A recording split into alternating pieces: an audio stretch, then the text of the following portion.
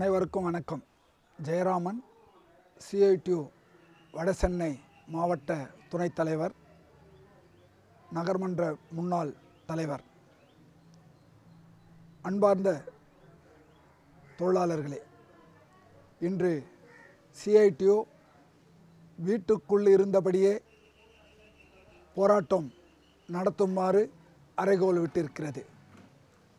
ஊரடங்கு காலத்தில் இப்படி ஒரு போராட்ட நடைமுறை தேவையா என்று பலர் கேட்கக்கூடும். அரசின் அறிவிப்புகளும் செயல்பாடுகளும் ஊரடங்கு உத்தரவும் அது நடைமுறைப்படுத்தப்படுவதும் மக்களுக்கு போய் சேர வேண்டும் என்பதற்காக இந்த போராட்டத்தை நாடு முழுவதும் வீட்டிற்குள்ளேயே இருந்து நடத்துமாறு சிஐடியுவின் மத்திய கமிட்டி கேட்டுக்கொண்டிருக்கிறது. ஆம்.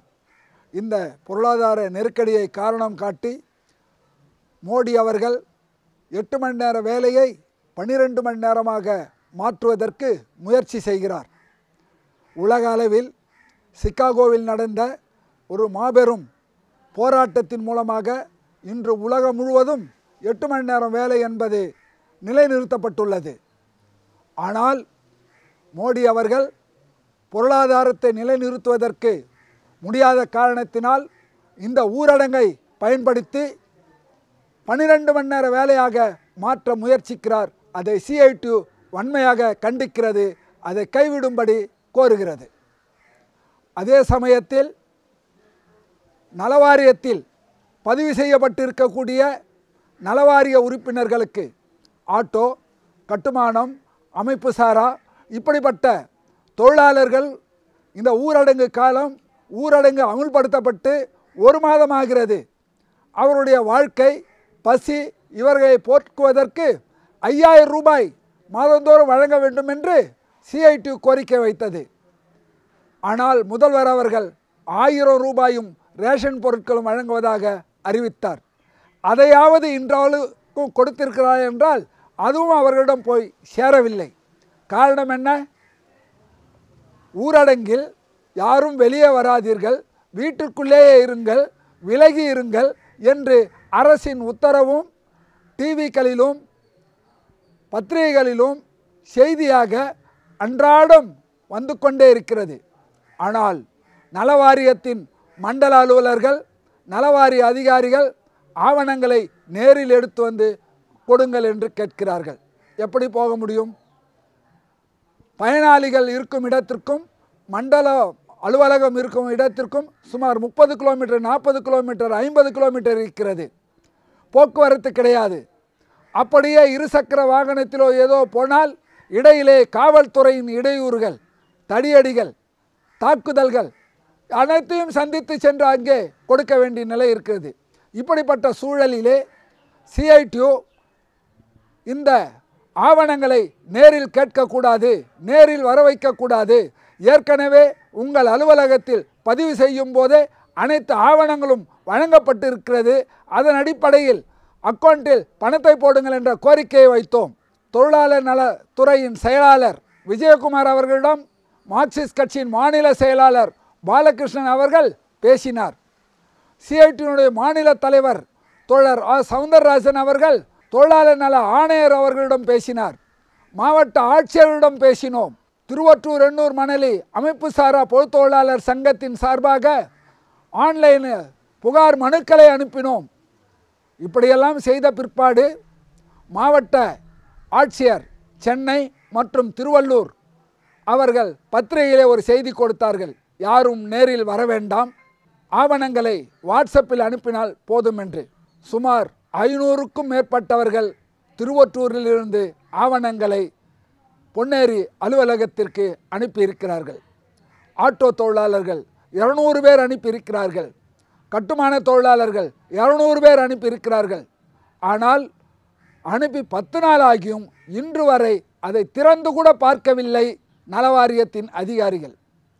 இந்த தடைகளெல்லாம் கடந்து சென்று ஒரு சிலர் அங்கே ஆவணங்களை கொடுக்கும்போது இந்த பத்திரிகை செய்தியை காட்டி அந்த அதிகாரிகளிடம் கேட்டால் அவர்கள் சொல்லுகிறார்கள் கலெக்டருக்கு என்ன? அவர் அறிவித்து விடுவார். நாங்கள் காலையில் எட்டு மணியிலிருந்து நைட் எட்டு மணி வரைக்கும் இந்த வேலையை செய்கிறோம். நேரில் வர்றவங்களே எங்களால் பார்க்க முடியல. வாட்ஸ்அப்பை எப்படி திறக்க முடியும்? அதனால் போதுமான ஊழியர்கள் இல்லை. எங்களால் செய்ய முடியாது என்று பகிரங்கமாக கூறுகிறார். அப்படியானால் அரசு போதுமான ஊழியர்களை கொடுக்காமல் போதுமான இயந்திரங்களை அங்கு கொடுக்காமல் செய்தியாக பத்திரிகையில் மட்டும் வாட்ஸ்அப்பில் அனுப்புங்கள் என்று சொல்லிவிட்டால் எப்படி இந்த பணி நிறைவேறும்? அரசு அதிகாரிகள் இதில் கவனம் செலுத்த வேண்டும். அது மட்டுமல்ல இப்போது இரண்டாவது முறையாக மேலும் ஒரு ஆயிரம் ரூபாய் வர வழங்குவதாக அறிவித்திருக்கிறார். அதற்கு எப்போது அனுப்பி அது எப்போது வரும் என்று தெரியாது. மே மூன்றாம் தேதி வரை ஊரடங்கு தளர்த்தப்படாது என்று அறிவிக்கப்பட்டுள்ளது. இந்த அமைப்பு சாரா தொழிலாளர்கள் வேலை இல்லாத கட்டுமான தொழிலாளர்கள் ஆட்டோ தொழிலாளர்கள் இவர்கள் எல்லாம் எப்படி சாப்பிடுவார்கள்? அவருடைய உணவுக்கு என்ன ஏற்பாடு? அவருடைய பசி என்ன நிலைமை? கொரோனாவுக்கு பயந்து பசியால் சாவதா?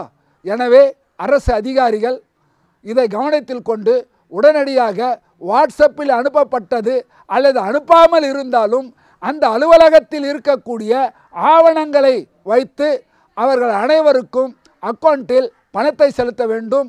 அதே மாதிரி ரேஷன் பொருட்களை அந்தந்த ரேஷன் கடைகள் மூலம் செலுத்த வேண்டும் என்று சிஐடி கோருகிறது. அதேபோல் ஒப்பந்த தொழிலாளர்கள் முதல்வர் அவர்கள் அறிவித்தார் ஒப்பந்த தொழிலாளர் அனைவருக்கும் எந்த பிடித்தமுமின்றி சம்பளம் வழங்க வேண்டும் என்று. ஆனால் நடைமுறையில் எந்த ஒரு தொழிற்சாலையிலும் அது அரசு நிறுவனமாக இருந்தாலும் சரி தனியார் நிறுவனமாக இருந்தாலும் சரி எங்கேயும் அந்த அறிவிப்பை அல்லது அந்த உத்தரவை அமுல்படுத்தப்படவில்லை. ஏன்?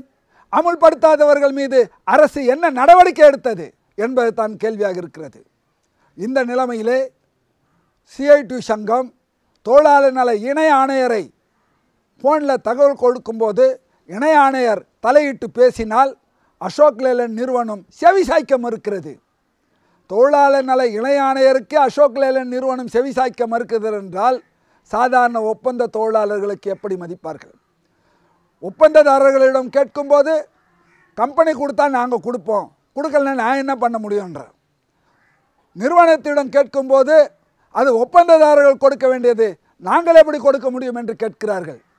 அரசிடம் கேட்கும்போது அரசு நாங்கள் நடவடிக்கை எடுக்கிறோம் என்கிறார்கள். எப்போது நடவடிக்கை எடுப்பார்கள்? எப்போது அவர்களுக்கு பணம் வந்து சேரும்? அவருடைய பசி எப்போது தீரும்? அரசு இதில் கவனம் செலுத்த வேண்டாமா? எனவே தான் சிஐடி சங்கம் நாடு முழுவதும் இந்த போராட்டத்தை நடைமுறைப்படுத்தி வருகிறோம். வீட்டிற்குள்ளே இருந்து அரசின் உத்தரவுக்கு கட்டுப்பட்டு ஊரடங்குக்கு கட்டுப்பட்டு வீட்டிற்குள்ளே இருந்து அரசின் கவனத்தை ஈர்க்க நாங்கள் இத்தகைய போராட்டத்தை நடத்தி வருகிறோம். அது மட்டுமல்ல இந்த க ஊரடங்கு காலகட்டத்திலே பெண்களுக்கு பாலியல் வல்லுறவுகள் அதிகரிக்கப்பட்டிருப்பதாக புள்ளி விவரங்கள் கூறுகிறது. அரசு என்ன செய்து கொண்டிருக்கிறது? அதில் நடவடிக்கை எடுக்க வேண்டும். இறுதியாக நாங்கள் சொல்வது எட்டு மணி நேர வேலையை நீடிக்க வேண்டும். பன்னெண்டு மணி நேர வேலை என்கின்ற நடைமுறையை கைவிட வேண்டும். ஒப்பந்த தொழிலாளர்களுக்கு முறையாக சம்பளம் உரிய காலத்திலே வழங்க வேண்டும். நலவாரியத்தில் பதிவு செய்யப்பட்டிருக்கக்கூடிய அத்தனை உறுப்பினர்களுக்கும் குறிப்பிட்ட காலத்திலே ஆயிரம் ரூபாயும் அந்த ரேஷன் பொருட்களும் ஐயாயிரம் ரூபாயாக மாற்றி அவர்களுக்கு வழங்கப்பட வேண்டும். பாலியல் வல்லுறவுகள் தடுக்கப்பட வேண்டும். இந்த கோரிக்கைகளை வ- வலியுறுத்தி நாடு முழுவதும் சிஐடியு வீட்டில் இருந்தபடியே நடத்துகின்ற இந்த ஆர்ப்பாட்டத்தை இந்த கவன ஈர்ப்பு போராட்டத்தை அரசு கவனத்தில் எடுத்து இந்த நடவடிக்கைகளை மேற்கொள்ள வேண்டும் என்று கேட்டுக்கொள்கிறோம். நன்றி. வணக்கம்.